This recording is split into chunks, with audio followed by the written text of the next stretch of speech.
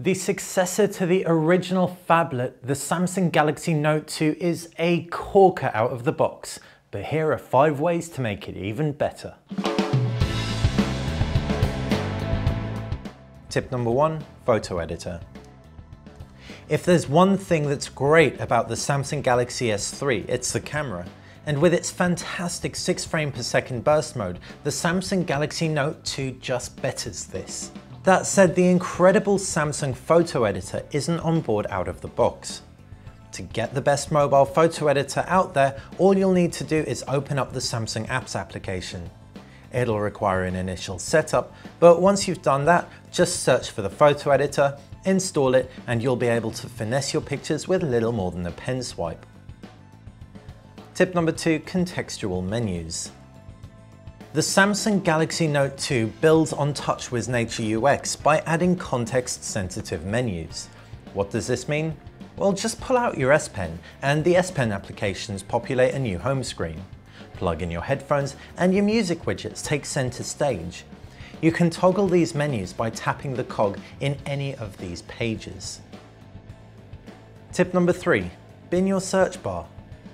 By default, there's a Google search bar taking up the space of four potential shortcuts or folders on your home screen. What do we say? Can it? Why? Because there are two ways to access your Google search in Google Now on the Samsung Galaxy Note 2 with little more than long presses.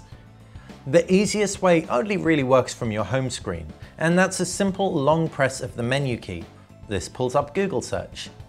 The second requires you to pull up your Task Manager by long pressing your Home button. Once the Task Manager's up, centered at the bottom of the screen is a Google search shortcut. Hello extra home screen space. Tip number four, customize your keyboard. Samsung's original Galaxy Note was a piece of cake to use with two hands, but one-handed typing on it was short of impossible, unless you had oversized appendages. Samsung's ICS update, however, brought with it one-handed mode, something that's made its way onto the Note 2. Just dip into your keyboard settings, activate one-handed mode, and your keyboard will lean either left or right, depending on whether you're right or left-handed.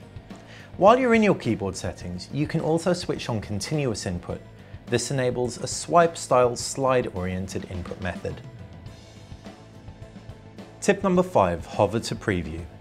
Taking full advantage of the S Pen, not only are there 1024 levels of pressure sensitivity, but you can also hover over certain elements to preview them.